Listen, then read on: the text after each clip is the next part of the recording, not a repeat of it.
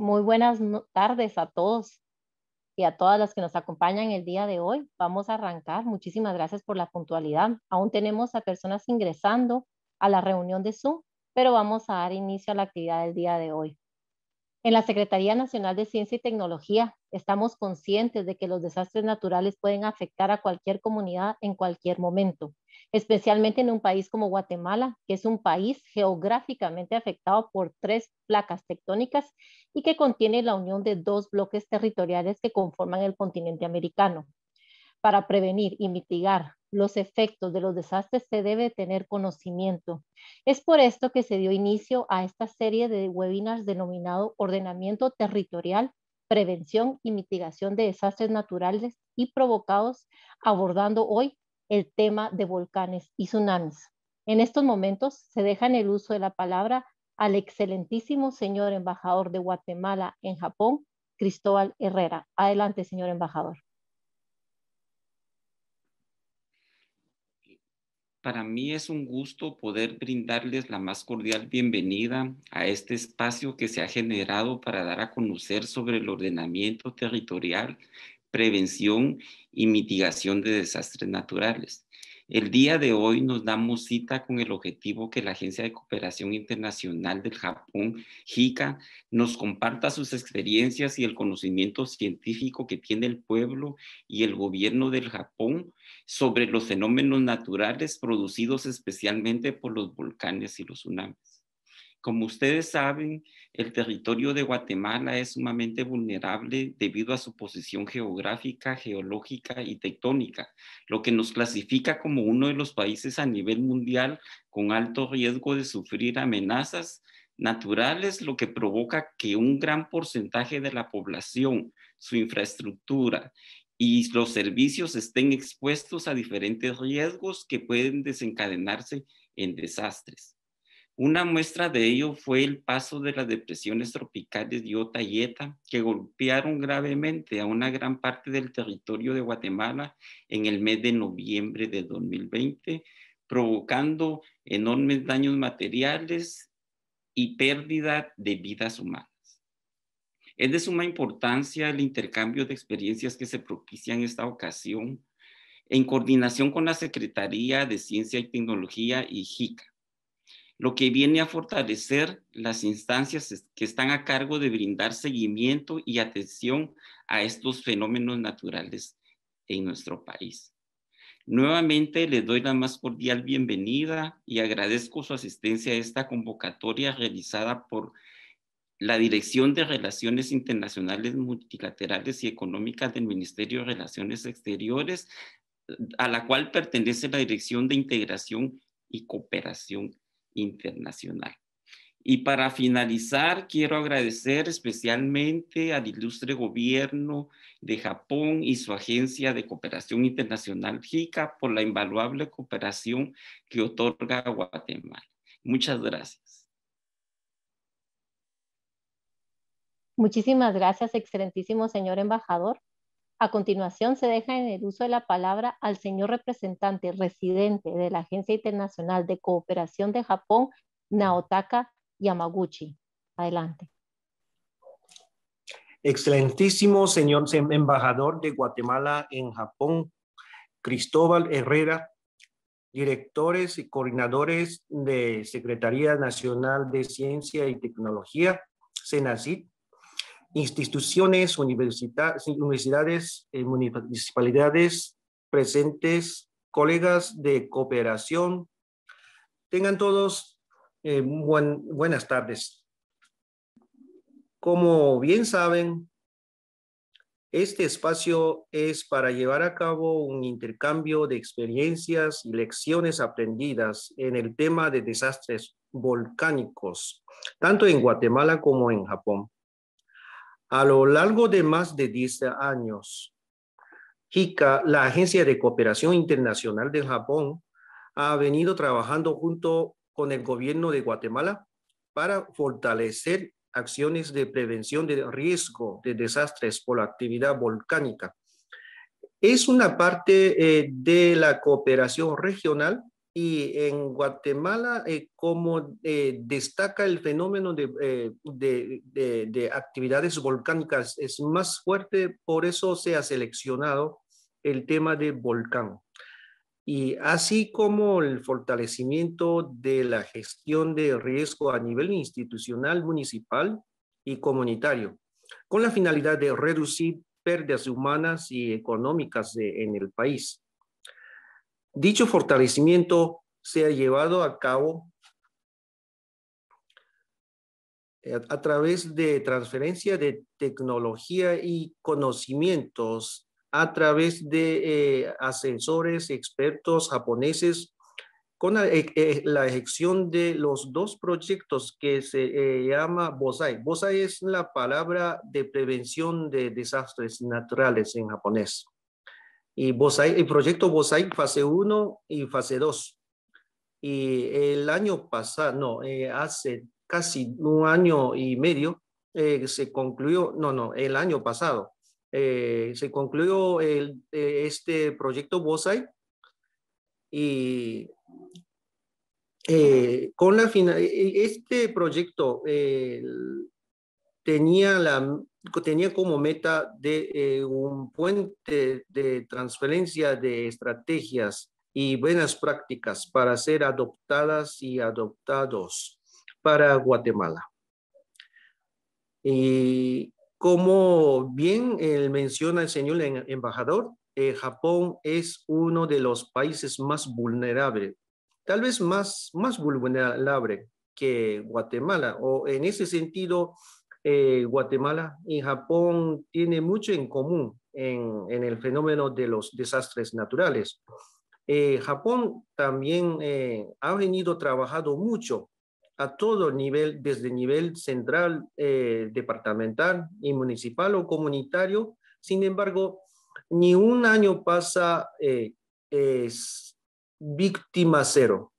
O sea, en ese sentido, Japón eh, de alguna manera se ha logrado reducir el impacto negativo o pérdida humanas, pero es decir, sin fin eh, para siempre tendríamos que trabajar, preparar, aprender eh, y eh, tratar de reducir el, el, impactos.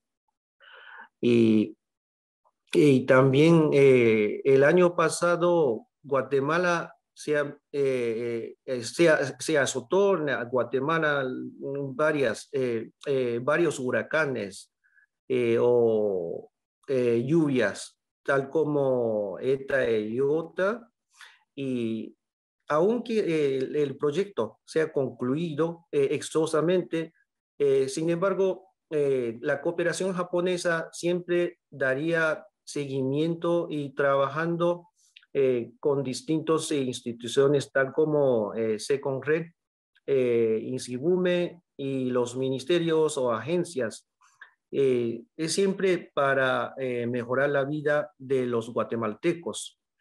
Finalmente, agradecemos la iniciativa y de la coordinación eh, de Senacid para fomentar la importancia de gestión de riesgo en Guatemala.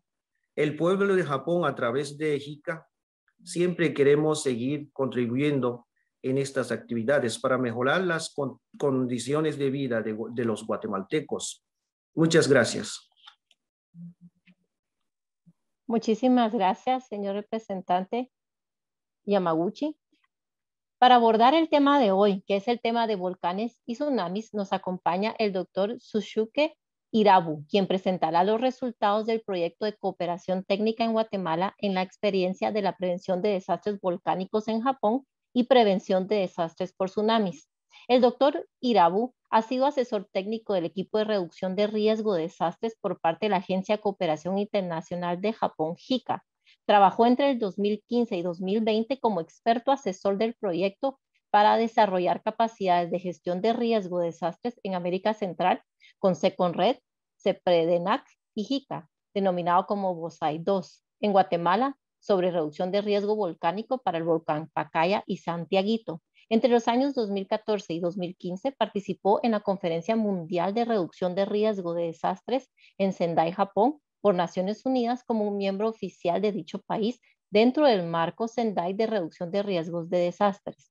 Y desde el 2009 ha trabajado con la región de América Central en el tema de reducción de desastres. Adelante, doctor Irabu. Muchas gracias. Eh, muy buenas tardes, eh, señores y señoras. Eh, excelentísimo señor embajador de Guatemala, de Japón, Cristóbal Herrera, muchas gracias por darme, darnos esta oportunidad y el señor representante residente de la Agencia de Cooperación Internacional de Japón, Naotaka Yamaguchi. muchas gracias por coordinar esta ocasión de hoy. Y eh, señoras y señores de Secretaria Nacional de Ciencia y Tecnología, eh, gracias por eh, esta ocasión. Y compañeros, compañeras de Secondet, gracias por aceptarme trabajar en Guatemala durante cinco años pasados para sacar buen resultado, para poder compartir el resultado eh, a través de esta ocasión. Voy a compartir la pantalla. Eh,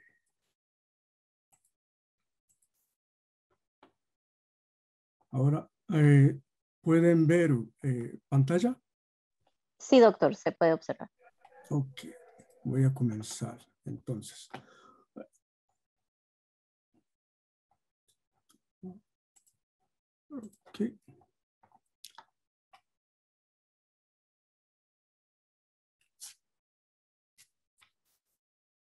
Antes de comenzar, yo quiero referir eh, o refrescar nuestro conocimiento sobre el eh, acuerdo internacional, eh, muy importante para todo el mundo, incluyendo nosotros, quien trabajamos en tema de reducción de riesgo de desastre en todos los países. eso dicen acciones, tiene, tenemos acciones prioritarias. Eh, cuatro. Eh, uno, eh, comprender el riesgo de desastre. Y dos, fortalecer la gobernanza del riesgo de desastres para gestionar dicho riesgo. Y tres, invertir en la reducción de riesgo de desastres para la resiliencia. Y cuatro, aumentar la preparación para casos de desastres a fin de dar una respuesta eficaz y reconstruir mejor. Eh, esta palabra eh, mundialmente conocido como Build Back Better en el ámbito de la recuperación, la rehabilitación y la reconstrucción. Eh, son cuatro acciones prioritarias que tenemos que siempre estar en consciente cuando trabajamos en este tema de reducción de riesgo de desastres. Entonces, el día de hoy yo quiero eh, seguir en esta línea eh, para aportar a cumplir acción prioritaria número uno, básicamente, eh, y compartir algunos resultados o avance de Japón y proyecto que hemos hecho eh, tiene que ver con el resto de acciones prioritarias. El tema de hoy, eh, me gustaría hablar eh, sobre desastre volcánico y su característica en Japón brevemente y luego breve historia de observación de volcán y variedad de técnica de observación y luego reducción de riesgo de desastre volcánico en Japón eh, resumen sobre medida estructural y reducción de riesgo de desastre volcánico en Japón, eh, sobre medida no estructural y eh, últimamente me gustaría tocar el tema de resultado del proyecto BOSAI fase 2 en Guatemala.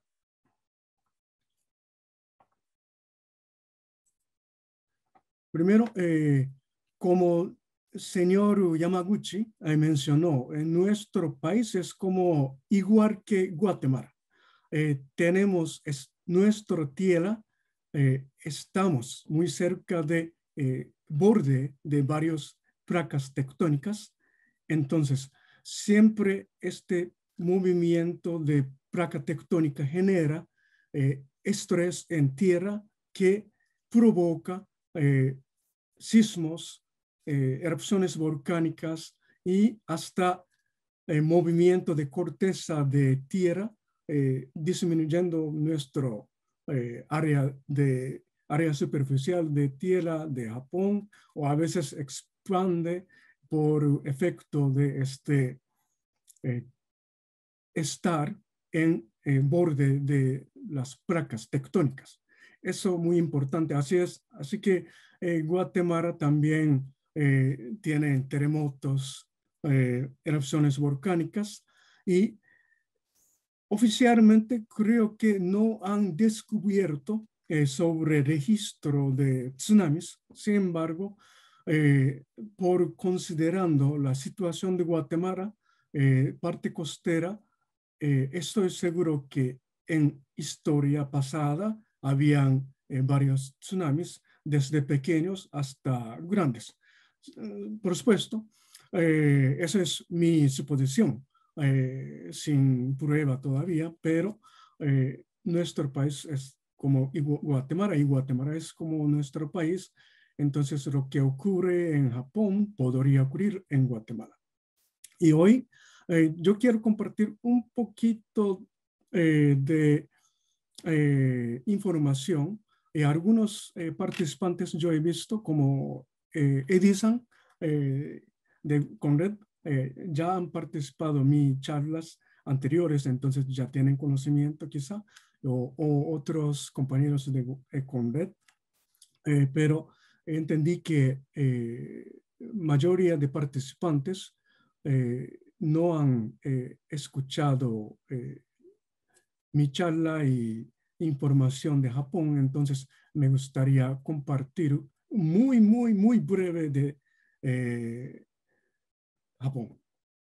Entonces, en términos de volcanes, tenemos 111 volcanes activos. En el mundo tenemos alrededor de 1.500 volcanes y activos. Entonces, eh, eso significa que nuestro país cuenta 7% de todos los volcanes en el mundo. Y entre los 111 volcanes, 50 son eh, objeto de monitoreo constante porque son muy activos, como Volcán Fuego o Pacaya o Santiaguito. ¿verdad? Entonces, eh, para los 50 volcanes eh, estamos monitoreando constantemente 24 horas y 356 días con equipo muy completo de observación. La superficie terrestre de Japón tenemos más o menos tres veces más grande que la superficie de Guatemala y población es creo que cuatro veces más grande que Guatemala.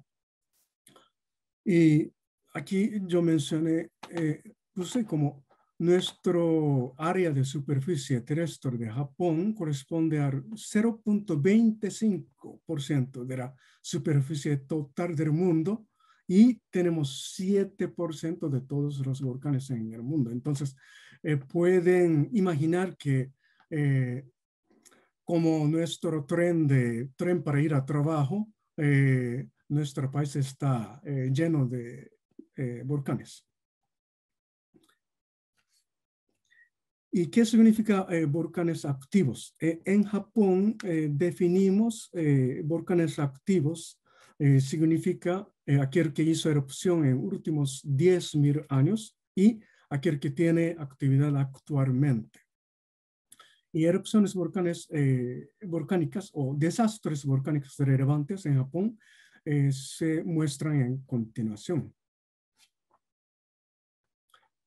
1808, eso es eh, de últimos 100 años, registro de últimos 100 años de desastres volcánicos, con más de 10 muertos en Japón. desde 1888 1900, 1902. Interesante es el, año que hizo erupción Santa Gita o Santa María. En 1914, eh, este volcán Sakurajima hizo una erupción grande, eh, equivale a un eh, índice de volcán, se llama VEI, es 5. Y 1926, 1940, 1952, 1958, 1991, 2014. Y número de muertos, eh, bien, solo yo voy a mencionar eh, desde arriba para abajo, 461, eh, entre 461 y 477 luego 72, 125, entre 58 y 59, 144, 11, 31, 12, 34 y 36. Eh, aquí lo importante es eh, el año 12, eh, perdón, 100, 1902 murieron 125 residentes eh, cerca eh, en la isla. Y a partir de eh, esto, luego 1926, 144 residentes en prefectura de Hokkaido, es, es volcán que está al norte de Japón, eran residentes. Y luego eh, revisamos un poquito. Y 31 esos pescadores y 11 eh, tampoco no son residentes. Y 43 eh, periodistas, científicos y bomberos. Y luego 30, 63, el último desastre más relevante de Japón, provocado por un volcán, fueron, fueron turistas. Entonces, viendo, considerando esta historia o registro eh, característica de desastre volcánico en Japón, a partir de 1904, las víctimas a causa de erupción volcánica son no residentes en la zona. Eh, por supuesto, hoy voy a tocar sobre tema de volcán y un poquito de tsunami. Eh, no voy a tocar tema de tema muy relevante de reducción de riesgo de desastres sobre dónde vivir en términos de riesgo o amenaza. Eh, así que Japón estamos avanzando en este tema. Eh, hoy no voy a tocar esto y encima de este tema eh, estoy mencionando esto. Pero la zona ha sido restringida tanto en su ingreso como para habitar, se ejecuta alerta integral de reducción de riesgo de desastre, entre otros. Eh, estas medidas eh, ayudaron a eh, minimizar víctimas de residentes alrededor del volcán. Ok, tipos de amenaza, flujo piroclástico ha provocado muertos en varios volcanes en el momento de erupción. Irahar, eh, destruyó una comunidad entera poco después de la erupción. HARC ocurre muy raras veces, no como Guatemala. Alrededor de Santiaguito, eh, muchas veces han ocurrido o siempre están ocurriendo la HARC. Y colapso de cuerpo de volcán eh, causó gran daño económico y muchos muertos poco después de la erupción. generó un tsunami, lo que causó más pérdidas de vida en la historia. Eso no estaba en eh, la tabla, pero un volcán estaba cerca de una bahía, e hizo erupción y una parte del cuerpo de volcán colapsó y este, este tierra eh, o parte del cuerpo de volcán que hizo deslave eh, entró al mar o esa bahía y levantó agua y esa agua generó como tsunami y llegó a comunidad en otro lado de bahía y destruyó varias comunidades y barísticos bombas volcánicas afectaron en zona limitada cerca del volcán al momento de erupción. Y ceniza volcánica ha causado mayor daño económico eh, por mucho tiempo. Eh, estas cosas eh, ya sabemos como país Guatemala, así que siempre ustedes tienen actividad volcánica muy, muy relevantes.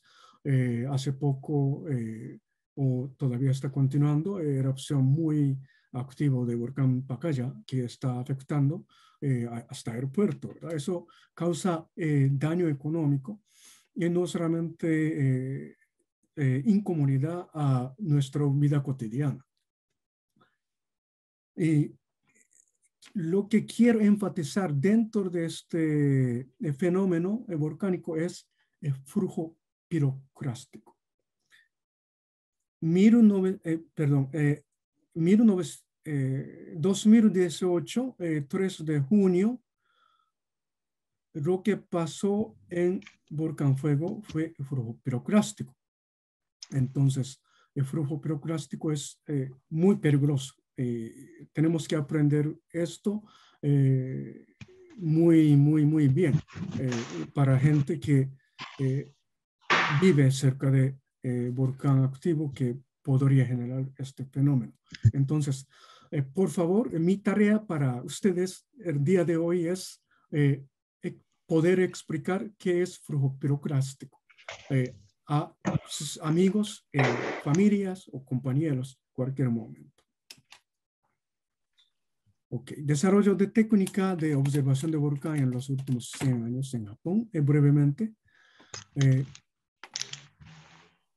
observación de volcán, volcanes y variedad de métodos de observación que yo puse, eh, mayor, en mayoría de casos eh, observamos volcán eh, en media de observar eh, sismicidad, porque eso es lo más importante y más fácil para conocer actividad de magma que está bajo de volcán que podría salir como lava o eh, columna de ceniza volcánica eh, como resultado cuando sale en superficie de la Tierra a través de boca de eh, volcán, ¿verdad? Y eh, en términos de estudiar sismología, dichosamente, nuestro país, Japón, fue primero país que establecimos el primer colegio de profesionales de los sismólogos en el mundo, eh, como Sociedad Sismológica de Japón en 1880. Eso podríamos decir el inicio de eh, observación de eh, volcán en Japón.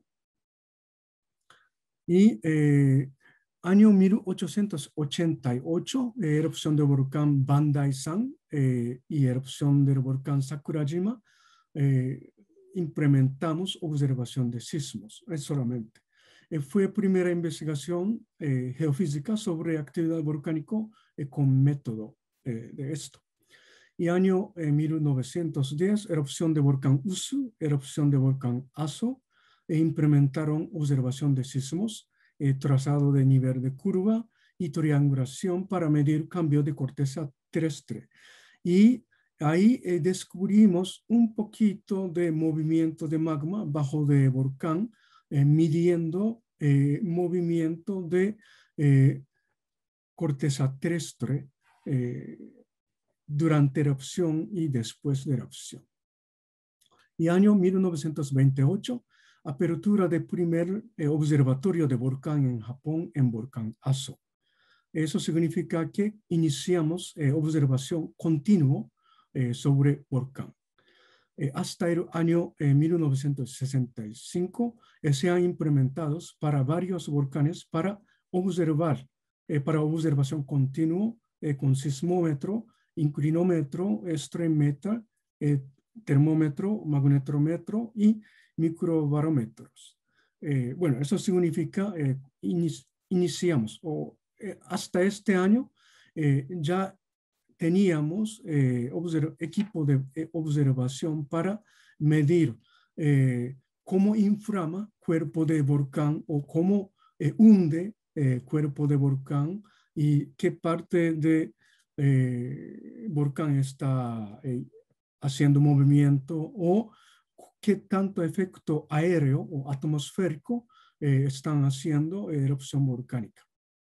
Y año 1982, inicio de observación de infrasonido con micrófono modificado para frecuencia baja en volcán Sakurajima. porque microbarómetro eh, podemos medir eh, cambio, poco cambio de eh, presión atmosférica provocado por erupción volcánica. ya sabemos que cuando hacemos, hacen erupción volcánica, aire vibra, ¿verdad? boom, o boom, podemos escuchar. Eso a través de media de aire, entonces eso significa aire está vibrando y si escuchamos esta vibración, eh, podemos saber eh, si está haciendo erupción o no, aunque estamos eh, en distancia larga desde el cráter de volcán. Y esta frecuencia atmosférica de volcán es muy baja. A veces no podemos escucharlo personalmente o humanamente por limitación de capacidad de, función de oído que podemos captar escuchar el sonido que hablamos o sonido eh, cotidiano, sin embargo, el volcán nos comunica con eh, sonido muy baja que no podemos escuchar. Entonces, eh, año 1982, eh, un científico o un grupo de científicos modificó el micrófono para captar este comunicación de Sakurajima volcán a través de atmosférica. Interesante. Y a partir de mil, 1990 eh, eh, entraron métodos de GPS, entonces ahí comenzamos a eh, utilizar GPS. medidas contra amenaza volcánica. Entonces, así observamos nuestro amigo o enemigo, a veces se convierte, y entonces, ¿cómo podemos convivir con ellos? quiero hablar, tocar tema de medidas contra amenaza volcánica. Eh, básicamente tenemos, bueno, llamamos eh, o dividimos medidas en medida estructural y no estructural.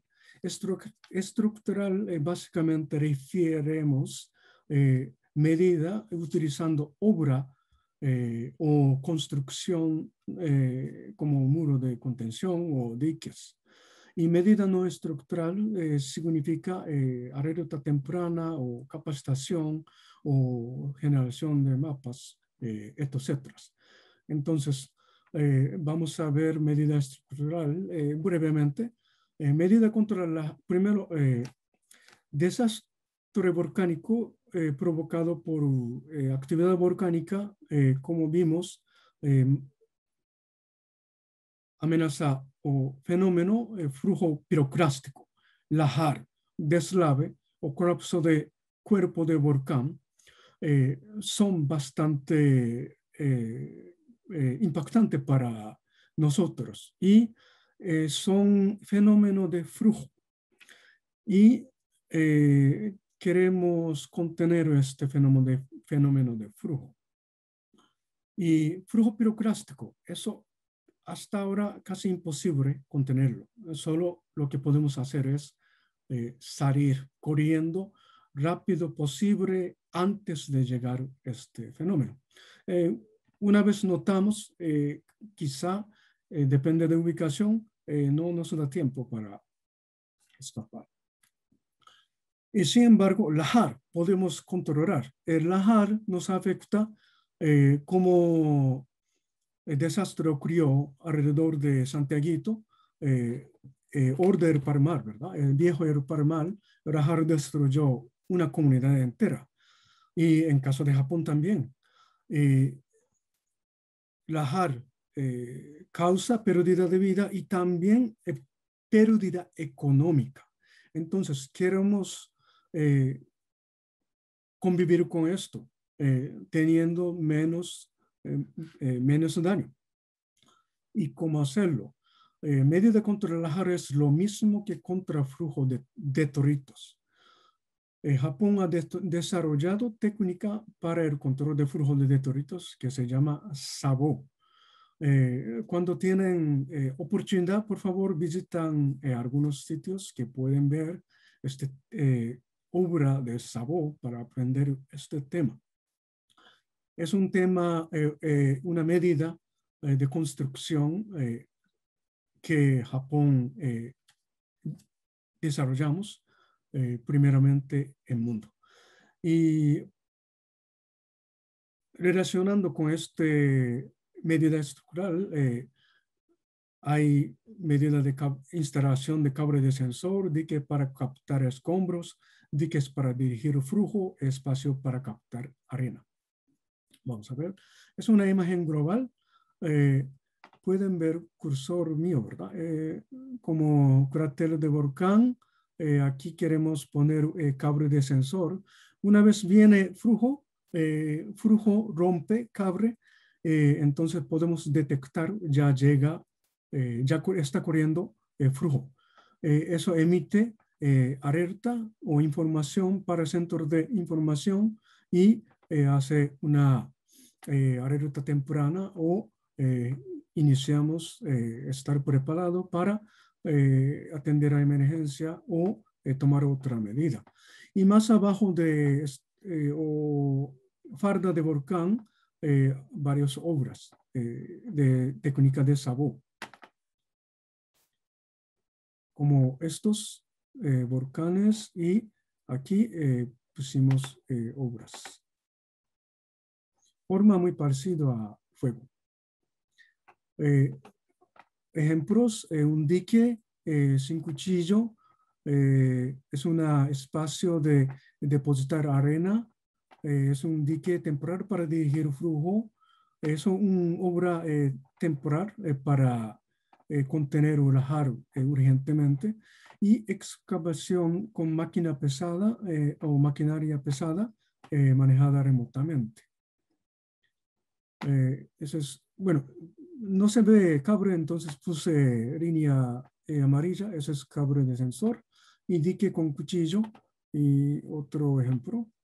Entonces, como ese es ejemplo de maquinaria pesada, eh, funciona remotamente. Así que eh, tenemos que trabajar en zona de muy, zona muy peligrosa, entonces tenemos que poner, trabajar con sin, sin personas o sin choferes para evitar riesgo entonces, estas maquinarias están eh, trabajando solos eh, remotamente. ¿Y cómo funcionan estos diques, eh, ríos o quebradas? Y pusimos, colocamos esta obra con malla o cuchillo y cuando viene flujo de rodo o la, lajar, este cuchillo o malla capta escombros y solo dejan salir agua. Y después de algunos tiempos excavamos todo escombros y para limpiar y para estar preparado para el próximo rajargo el eh, flujo de Detroit. Y otro eh, dique eh, sin cuchilla, cuchillo o malla, cuando viene lajar o detritos, deposita este escombros y sale solo, deja salir solo agua y aquí forma naturalmente como otro, otro parte de río. Y eh, naturalmente río excava su base y aquí por, a través de dique deja, podemos solo agua sale para abajo. Entonces podemos controlar impacto por choque, por detritos o escombros. Es un ejemplo de obras, eh, ejemplo eh, de efecto de obra eh, de Sabo. como antes teníamos este tipo de daño, y ahora pusimos este tipo de dique con cuchillo para contenerlo, para proteger la ciudad que estaba arriba. Y como después de un desastre, el gobierno local implementó medidas para el mejoramiento y mostró los resultados de tales acciones. Y 2.9 billones de dólares de inversión para proteger el bienestar con un valor de 2 trillones de dólares. Entonces, antes perdíamos un montón de dinero y pérdida de vida y ahora, solo poner esto, eh, protegemos todo el bienestar y eh, vidas. Y otro ejemplo, eh, podemos ver el ejemplo real, eso capta. Y otro ejemplo de un proyecto implementado por JICA en Indonesia, cerca de volcán Merapi, eh, aquí es eh, dique con cuchillo, eh, logró captar todo el rodo para no afectar a comunidad abajo. Y medidas contra estructura, contra caída de rapiri o bombas volcánicas o balísticos volcánicos. Eh, tenemos dos medidas, básicamente, eh, búnker con reforzamiento antibarísticos, eh, reforzamiento de techo y paredes en el edificio para poder servir como albergue. ejemplos, pequeño búnker cerca de volcán, eso son para turistas, no para residentes. cuando turistas llegan a volcán, si pasa algo, pueden refugiarse dentro de búnker para evitar el choque de impacto. Eh, así que nosotros queremos también eh, utilizar o aprovechar o convivir con eh, belleza de volcán. Entonces, estamos siempre buscando manera para convivir, utilizando volcán como fuente de turismo, ingreso económico local y para disfrutar belleza y también eh, tomando eh, medidas eh, de seguridad. Y otro ejemplo, estaciones de, de ferrocarril y baño público, parada de bus, escuela, estos tipos de edificios cerca de volcán han reforzado techos o paredes con técnica de reforzamiento.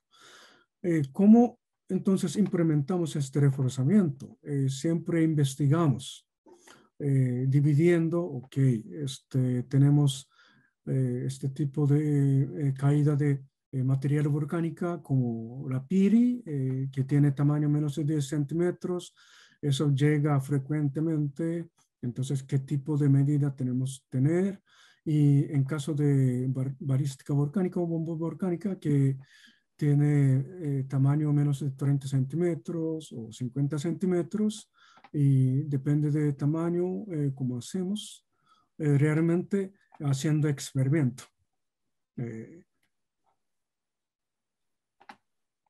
y bueno, aquí termino medida estructural. Y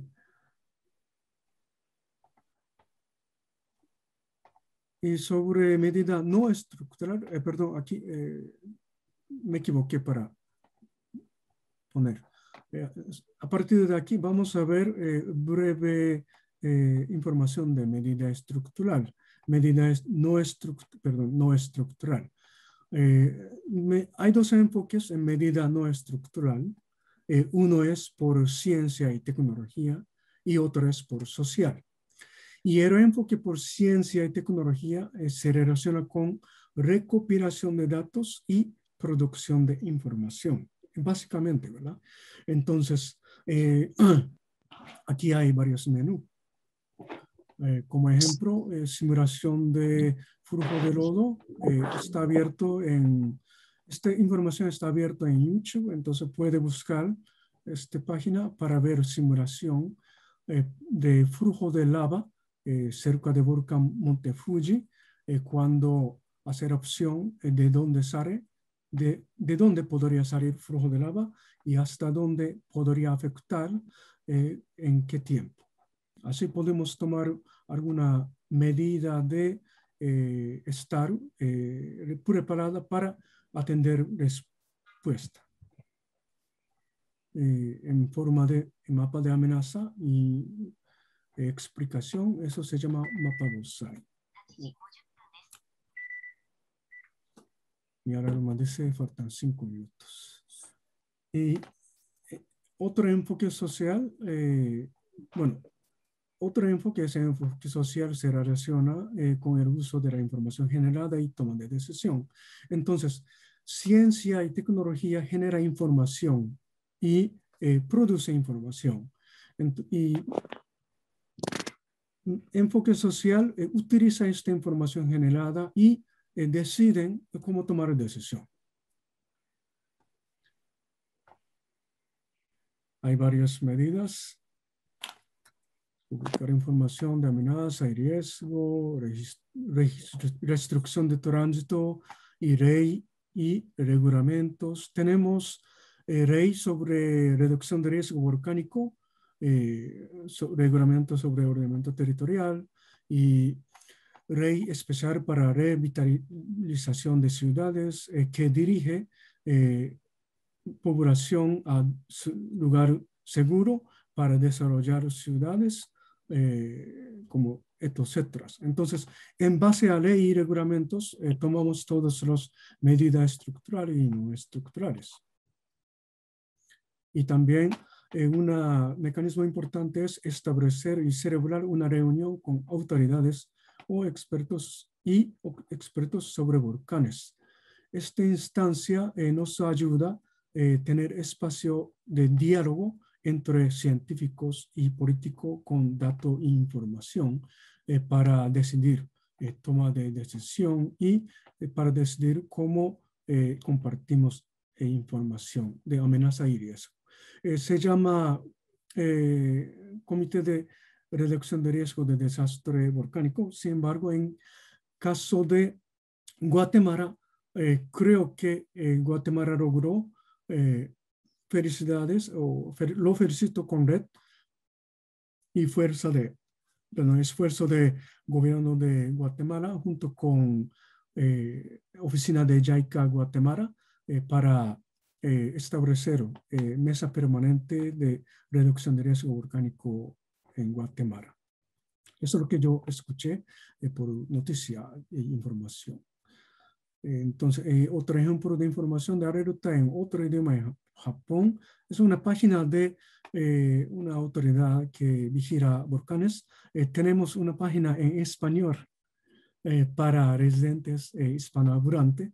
Entonces, compartimos. Oh, aparte de eso es mi parte fuerte para compartir y hay más información, pero solo faltan tres minutos, entonces voy a eh, tratar de eh, terminar rápido posible. Observación de actividad volcánica. Eh, imagen general.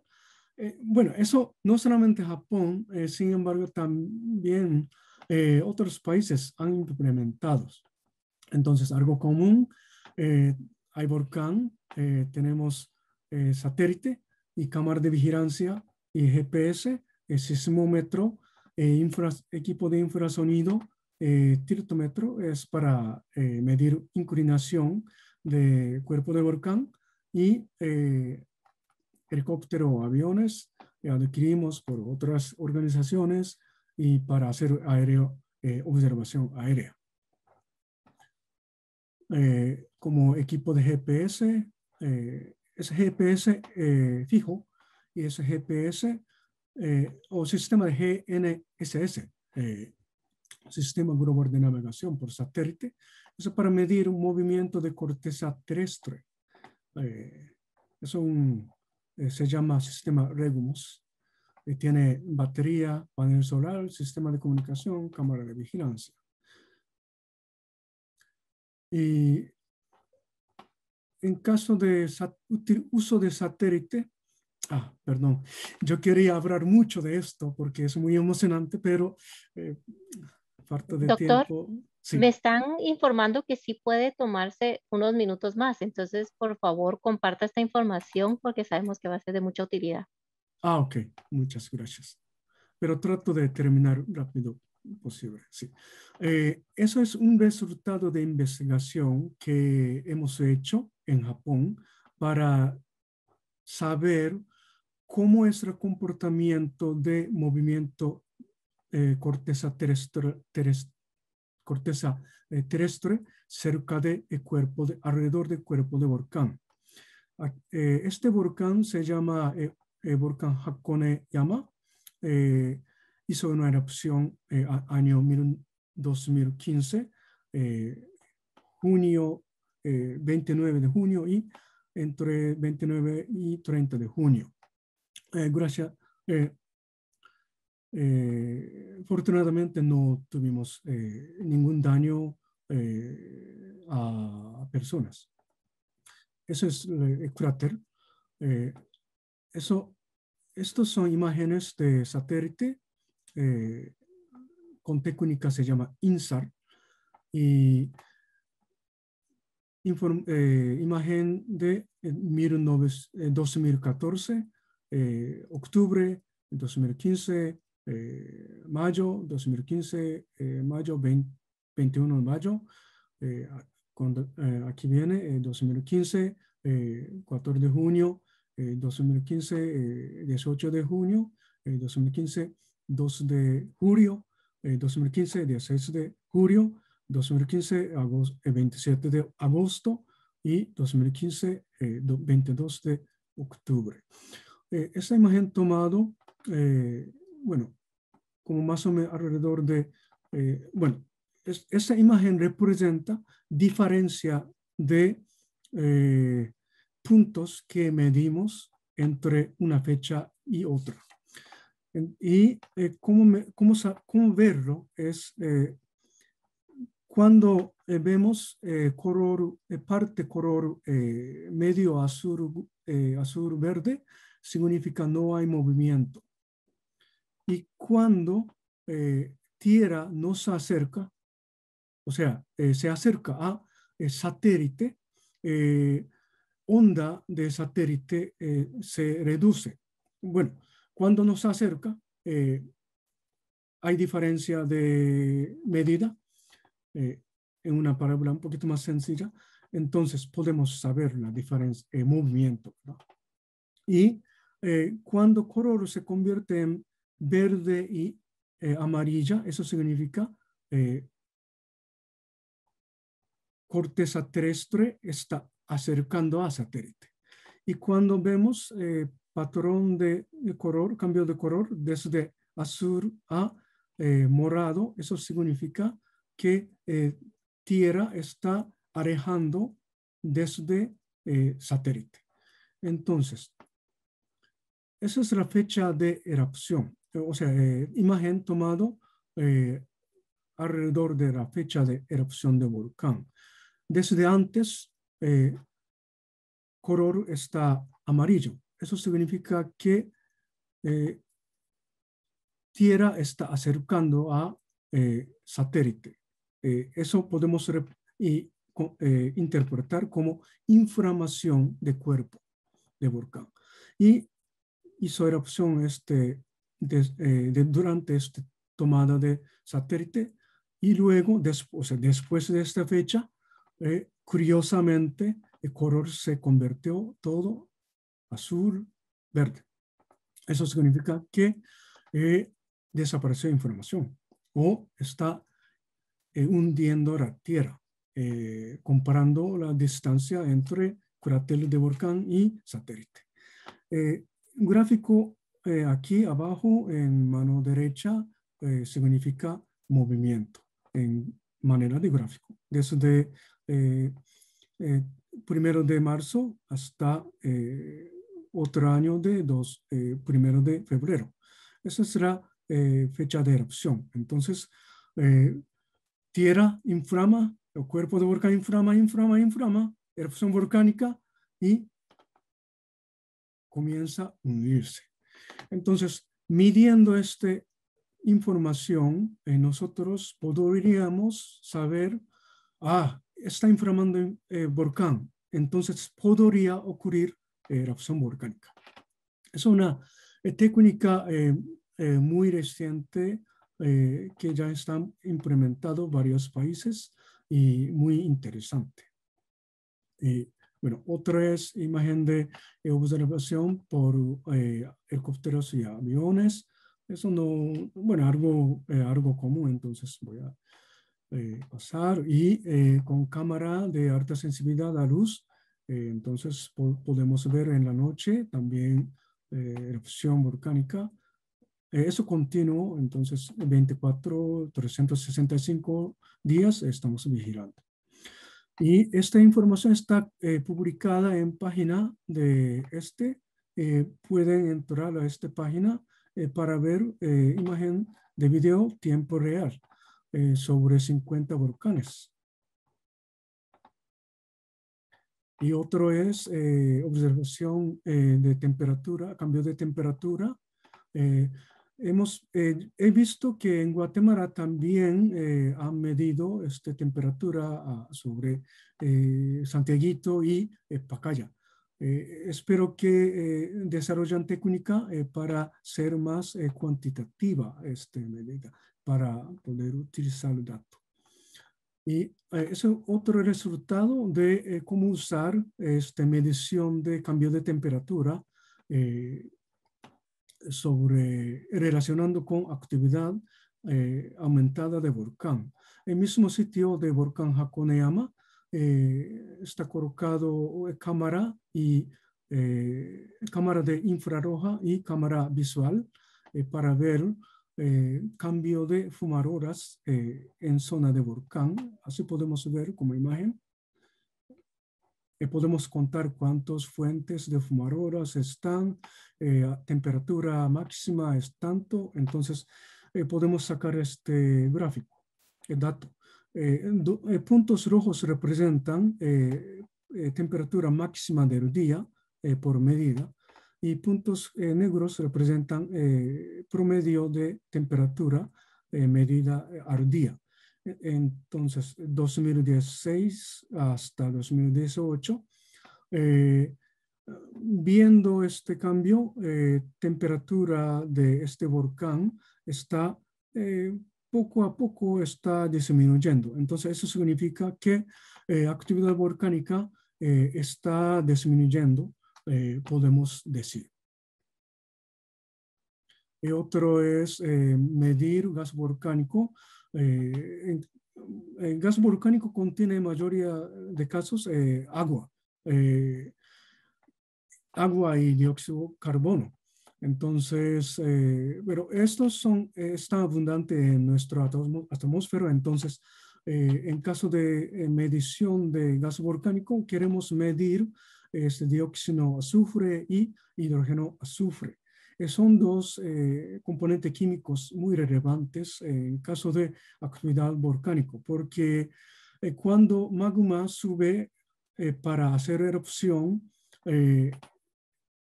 columna o este humo de erupción contiene, podría contener mucho más dióxido azufre y, ah, perdón, eh, dióxido de azufre y hidrógeno azufre, eh, que tiene que ver con eh, magma que está abajo.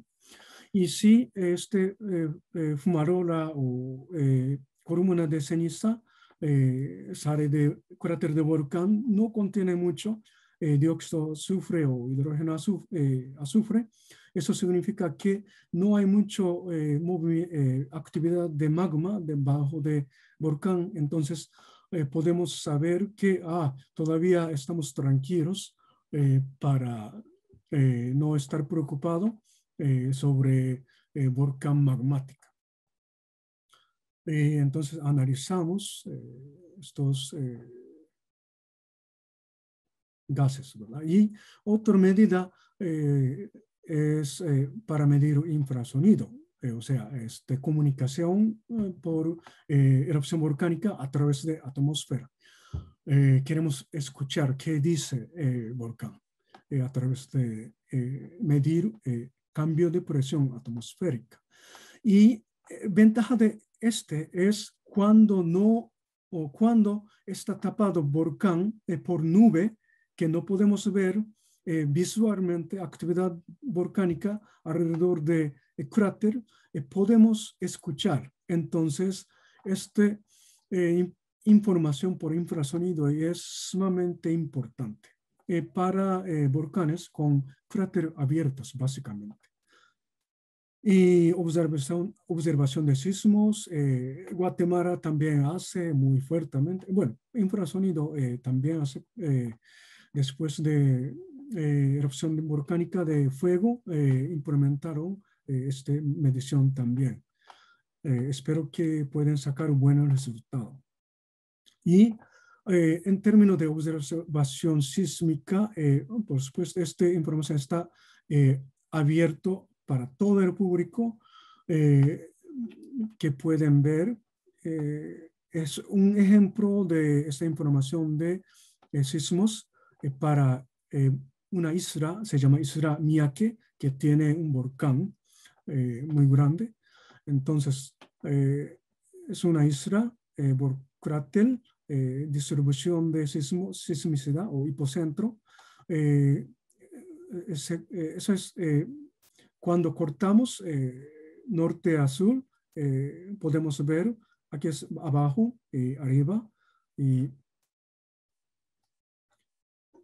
podemos ver eh, sismicidad viene de más o menos 3 kilómetros de profundidad hacia cráter.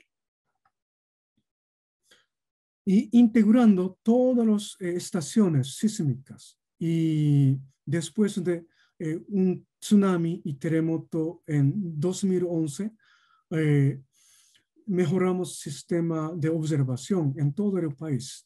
Y ahorita eh, están conectados todos eh, y se llama, el sistema se llama MOLAS y alrededor de 2.100 eh, estaciones tenemos para medir y después del terremoto en 1995 las estaciones sísmicas fueron reforzados y después del terremoto de tsunami en 2011, ya dije, pero las estaciones de tsunamis fueron reforzados. esas estaciones están colocadas como en esta imagen eh, parte mar, ¿verdad? Y ambos sistemas se han integrado y entró en operación en 2017. Y es una imagen de eh, eh, equipo, de, equipo de observación de sismicidad y presión de cambio cambio de presión eh, eh hidrológico. O, eh, entonces, esta máquina eh, está colocado bajo del mar y pueden detectar sismicidad en bajo del mar, debajo del mar y pueden detectar cambio de presión de mar. eso significa podemos detectar directamente cuando genera tsunami. tsunami es cambio de altura de superficie de eh, mar. entonces, cuando hay tsunami, eh, superficie, nivel del mar cambia. El nivel del mar cambia significa eh, debajo del mar, presión de aire se cambia. Entonces, si podemos medir este cambio de presión del mar, podemos detectar directamente si generó tsunami o no. antes de implementar este sistema, eh, tuvimos solamente eh, estaciones sísmicas y eh, bullas que está flotando en el mar. Entonces, no teníamos una, una, medida para medir directamente ocurrencia de tsunami. Ahora tenemos un poder para saber naturaleza más que antes. Es un ejemplo de registro de sismicidad eh, por este, eh, este sistema, 150 eh, estaciones desde arriba para abajo. un sismo ocurrió con magnitud 5.2 en zona marítima y este equipo detectó así. y observación. otra técnica que yo quiero, quería mostrar un poquito es una técnica muy avanzada en términos de ciencia, es observación dentro del cuerpo de volcán por rayo cósmico muón. siempre el rayo cósmico viene de espacio. entonces, capa de tierra, perdón, capa eh, capa electromagnética de la Tierra eh, no se están protegiendo para que no entre todo eh, rayo cósmico desde el espacio, si no morimos todo por cáncer. Pero bueno, es otra cosa. Y algunos científicos están aprovechando algunos tipos de rayo cósmico viene de espacio que se llama muón para saber dentro de cuerpo de volcán como es como el TAC, eh, en caso de TAC, eh, recibimos eh, rayo X y esta onda rayo X penetra nuestro cuerpo y médicos pueden ver imagen para hacer un dictamen médico. En caso de esta técnica, en, en, en lugar de usar rayo X, usamos rayo cósmico muón que penetra eh, todo cuerpo de volcán y utilizamos como eh, imagen eh, por, por este rayo y como este rayo, rayo cósmico penetra y podemos captar como imagen de este. Es un ejemplo de un volcán Sakurajima. eso es la imagen, resultado de imagen. Y bueno, cambio de un poquito tema, ¿Cómo podemos eh, socializar esta información? y utilizar eh, como medida de museo, eh, geoparque y etcétera. Y, entonces, la información sobre amenaza y riesgo está abierta al público siempre y actualizada siempre. Y Marco de Sendai dice comprender el riesgo de desastres y invertir en la reducción de riesgo de desastres para la resiliencia. Y este Marco Sendai dice también, eh, vamos a tener meta y vamos a cumplir un meta, y eso dice en eh, G, parte G, incrementar considerablemente la disponibilidad de los sistemas de alerta temprana sobre amenazas múltiples y de la información y las evaluaciones eh, sobre el riesgo de desastres transitadas transmitidas a las personas y al acceso a ellos para el 2030. Entonces, tenemos, eh, bueno, faltan 10 años para eh, cumplir esta meta y vamos a trabajar juntos fuertemente. Y eh, última parte, bueno, voy a intentar terminar en dos minutos, perdón, me permite tener un poquito más de tiempo para compartir resultado de proyecto BOSAI en fase 2 implementado junto con eh, Secondred en Guatemala, a través de cooperación eh, japonesa, ¿verdad? Y hemos eh, hecho, eh, regulado varios eh, temas como aquí estoy, estoy mostrando. creo que este resultado muy relevante de este proyecto es ya eh, hace poco mencioné establecimiento de eh, mesa permanente para la reducción de riesgo volcánico en Guatemala. Eh, eso creo que alquilando la foto de Facebook de Conled, creo, o página de Conled, publicado en marzo de 2021. lo felicito iniciar esta instancia eh, para reducir riesgo. Y eh, bueno, antes de eso, eh, a través del proyecto, desde 2015, estamos trabajando para reforzar este tema. creo que lo importante de esta instancia es tener espacio de diálogo entre científico y autoridades locales para compartir información y profundizar nuestro conocimiento sobre riesgo volcánico para tomar decisiones eh, para eh, ciudadanas, para evitar el daño económico y pérdida de vida. Entonces, ¿qué, ¿cuáles son temas? Eh, aquí son temas, bueno, voy a Y otro eh, ejemplo de resultado relevante de este proyecto es, hemos logrado eh, elaborar eh, junto con eh, Insibume y Secondet este mapa BOSAI.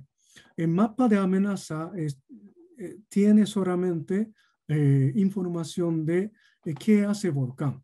En caso de mapa de riesgo, contiene cuando esta amenaza volcánica eh, encuentra eh, sociedad, qué tipo de daño genera. Eh, y otra información de explicación cuando agregamos, en Japón se llama, se convierte en un mapa, se llama mapa BOSAI.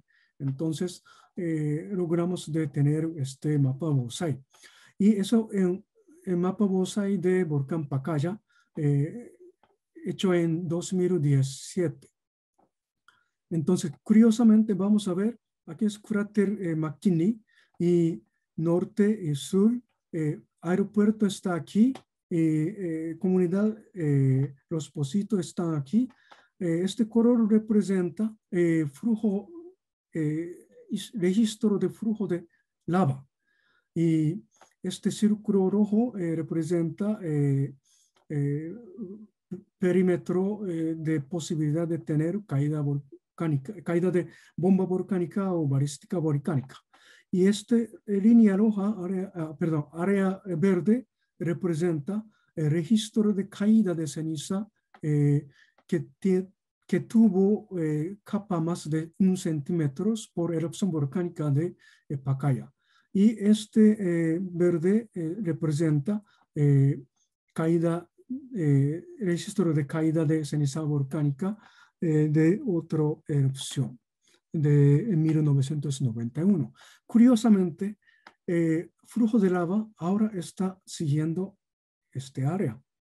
Entonces, eh, es una prueba de que este mapa realmente funciona para tomar en cuenta de tener medida de reducción de riesgo. Y Curiosamente, también distribución de eh, área de caída de ceniza volcánica cubre ahora también dentro de este área y este área y quizá eh, después de esta erupción podrían eh, agregar otra información. Y otro ejemplo de resultado relevante es, bueno, ejecución de simulacro, simulacro en comunidades alrededor de volcanes y eh, instalación de, alerta, eh, eh, de, equipo de alerta. Sin embargo, lo que quiero enfatizar es, aquí es, hemos, visitamos un sitio cerca de punto de reunión asignado como, como para, para una comunidad cerca de Volcán Santiaguito. En caso de erupción volcánica grande, eh, que, que, que, genera flujo piroclástico. Entonces, este mapa nos muestra eh, área que podría afectar, ¿verdad? Eh, algunos casos quizá podría expandir. Sin embargo, visitamos un sitio cerca del punto de reunión asignado para estudiar el capa eh, o capa de tierras para saber si hay si hay depósito de eh, flujo piroclástico anterior. Entonces, eh, con científicos de, o vulcanólogos de INSIBUME, eh, nosotros visitamos para verlo. Y lo buen resultado fue, este sitio asignado era bien seleccionado, que no tiene antecedente de llegada de flujo piroclástico geológicamente. Sí, entonces este sitio está bien seleccionado. Lo felicito con él. Y eh, es un ejemplo de instalación de eh,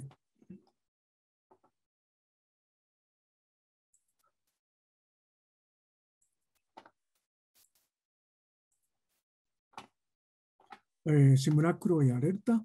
Y otro resultado relevante es recopilación de memoria histórica eh, de comunidad y eh,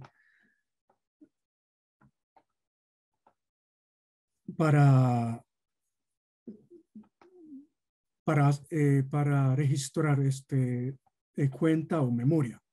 Y porque todas las medidas que yo mostré o compartí con ustedes el día de hoy en base, fueron en base a historia y en base a registro y en base a memoria de comunidades, en base a eh, experiencia de eh, personas fueron eh, en trabajo de, atendieron respuestas. Entonces, es muy importante recopilarlos y ordenarlos y socializarlos.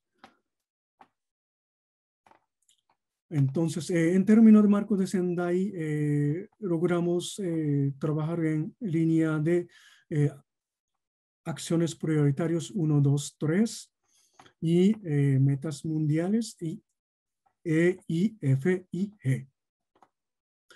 Y para terminar, resumen, bueno,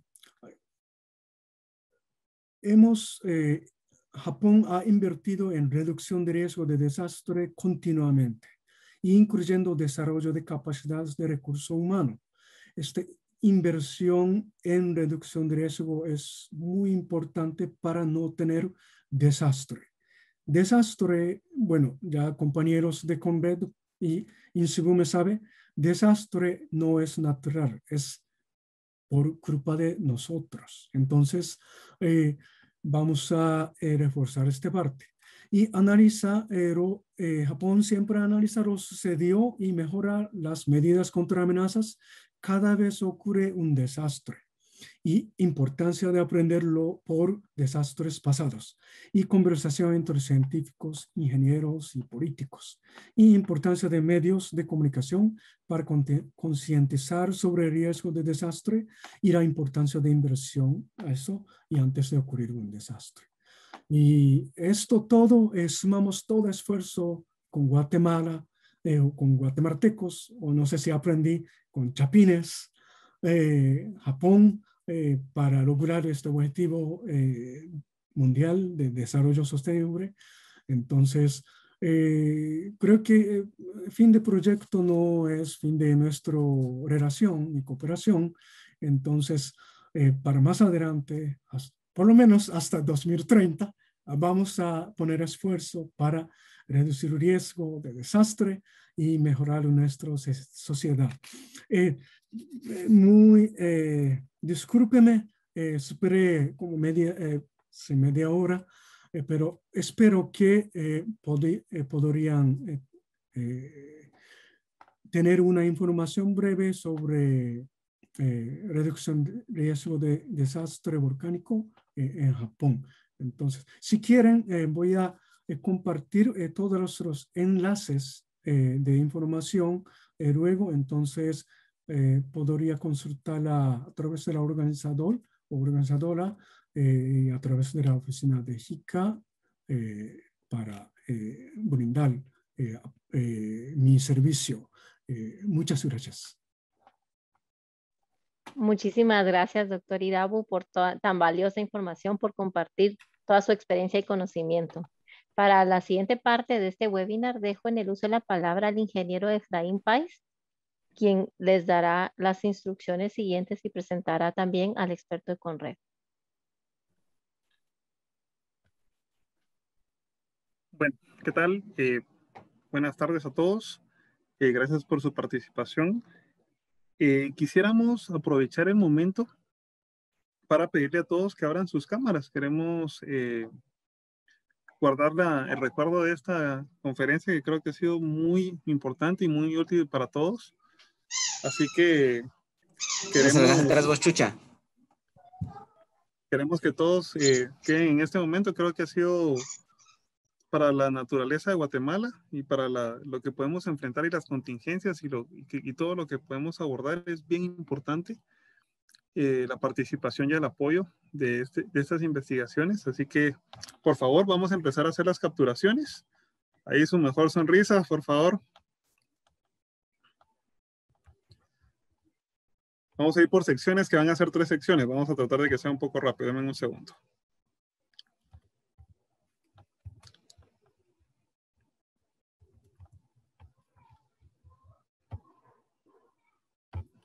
Entonces, aquí tenemos la primera sección. Vamos ahorita a la segunda sección. Muchas gracias a todos por abrir sus cámaras.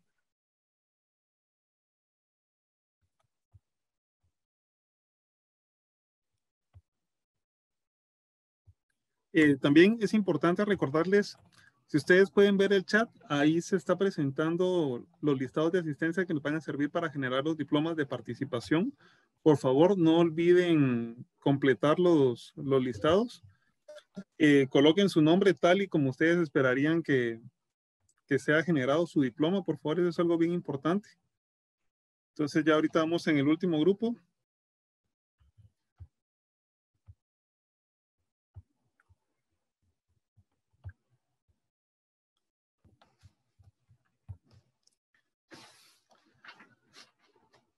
Bueno, muchísimas gracias a todos. Si quieren, en este momento vamos a ceder las palabras a, Eddie Maldonado para, para que él pueda hacer la, la siguiente parte de la generación de preguntas, porque creo que hay muchas inquietudes para concluir con broche de oro esta exposición. Muchas gracias. Una buena tarde para todos. Excelentísimo señor embajador de Guatemala en Japón, señor Cristóbal Herrera, señor representante de JICA en Guatemala, señor Naotaka Yamaguchi, eh, señor Shusuke Irabu, experto para América Central en la temática de gestión de riesgo por actividad volcánica y público en general. Eh, una buena tarde. Mi nombre es Eddie Juan José Maldonado Moreno, eh, soy técnico de la Unidad de Prevención en Volcanes de la SECONRED, encargado del área del volcán Santiaguito. Agradecerle mucho a, al señor Shusuke Irabu por la disertación de su temática. Prácticamente, pues, ha informado de las eh, bendiciones que tenemos en Guatemala como país y también del apoyo que JICA ha brindado en la temática de gestión de riesgo por, por actividad volcánica. Se han generado algunas preguntas. Voy a proceder con la primera pregunta. Esta viene de parte de eh, Mabel Hernández. Ella consulta al señor Shusuke eh, ¿Cuál es el promedio aproximado de evacuaciones de la población en Japón y con cuánta frecuencia lo hacen?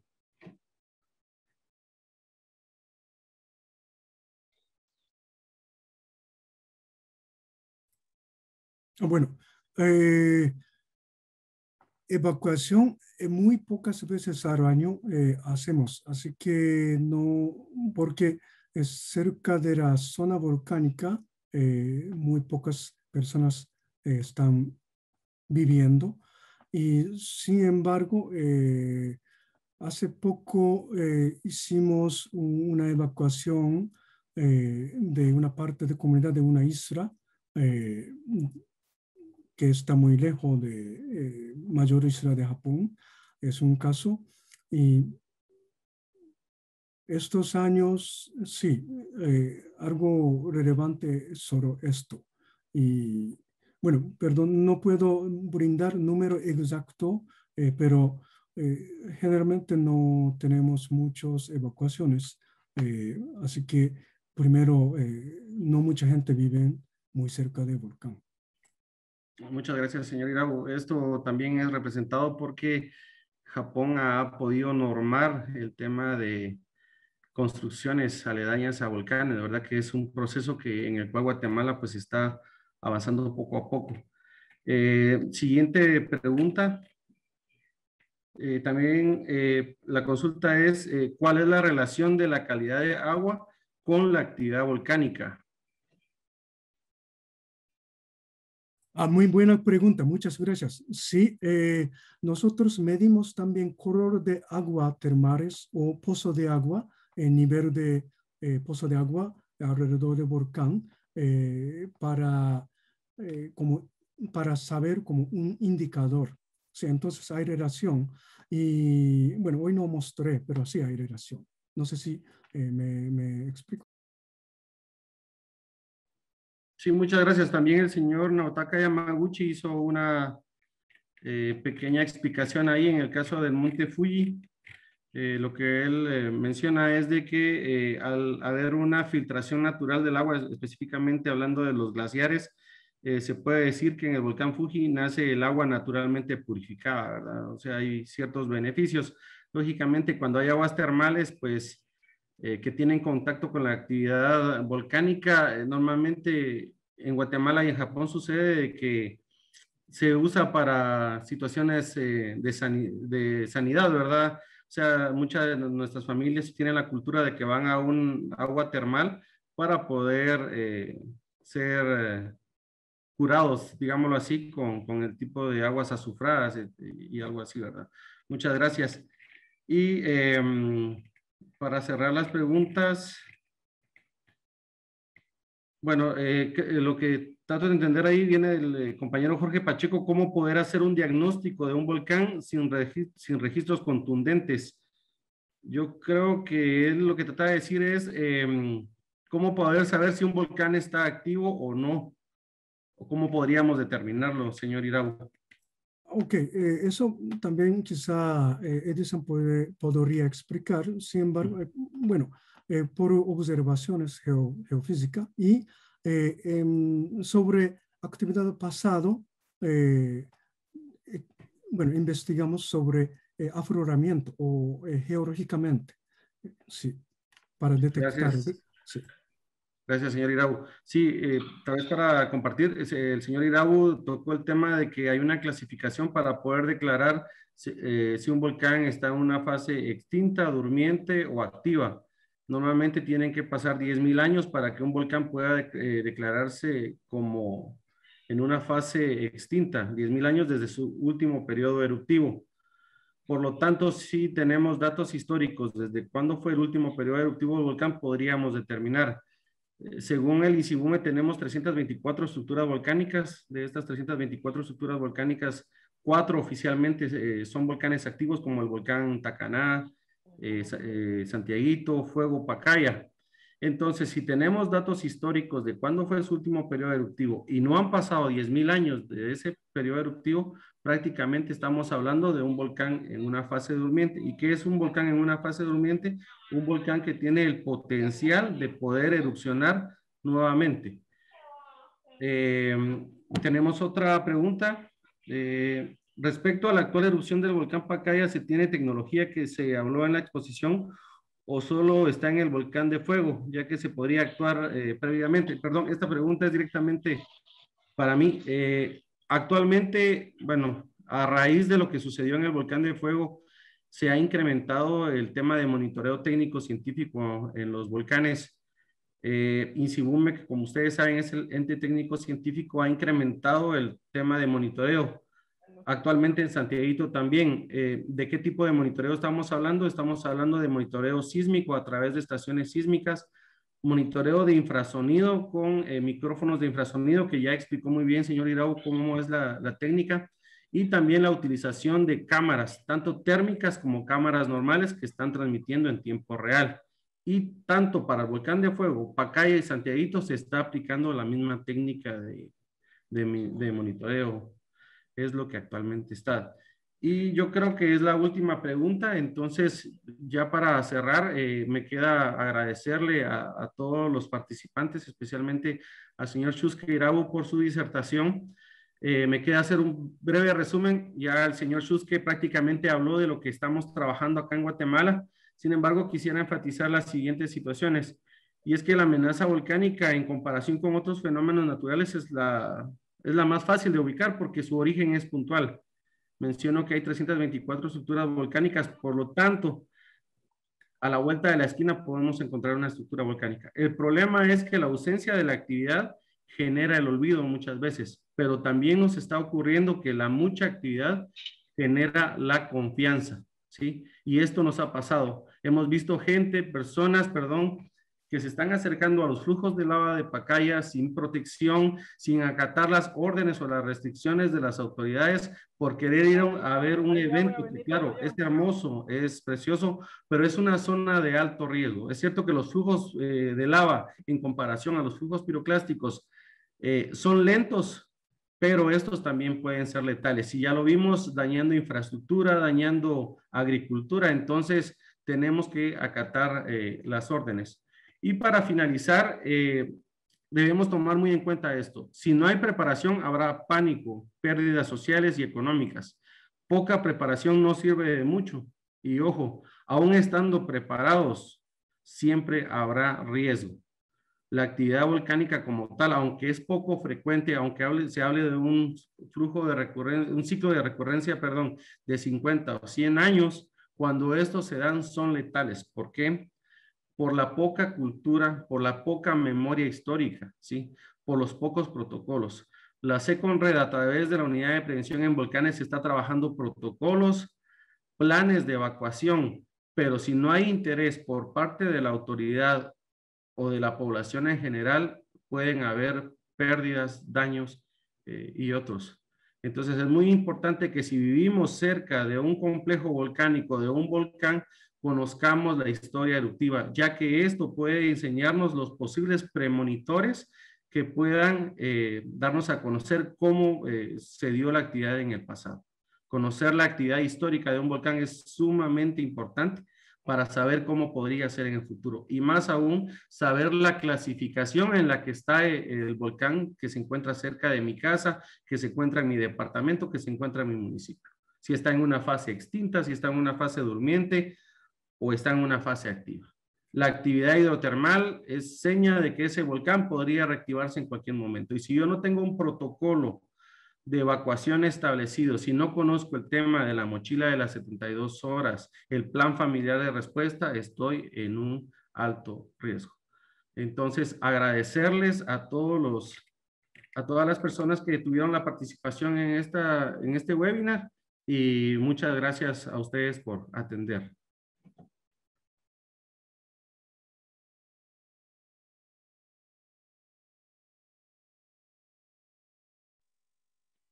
Que tengan todos muy buenas noches. Muchísimas gracias por la atención y les deseamos una feliz noche a todos. Buenas feliz noche. Muchas gracias. Muchas gracias. No buena disertación. Gracias. Buenas noches. Feliz noche. Adiós. Feliz noche. Feliz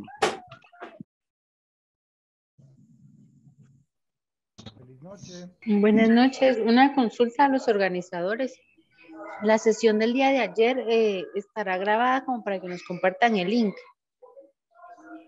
Por lo menos para verla, porque pues yo ayer no tuve la oportunidad de entrar y pues me perdí la conferencia del día de ayer. A ver si es posible, aunque pues no tome asistencia, pero por lo menos escuchar la conferencia.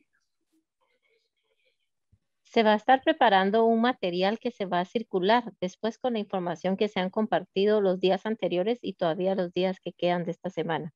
Entonces iban a tener acceso ah, a todo. perfecto. Muchísimas gracias. muy amable. Feliz tarde.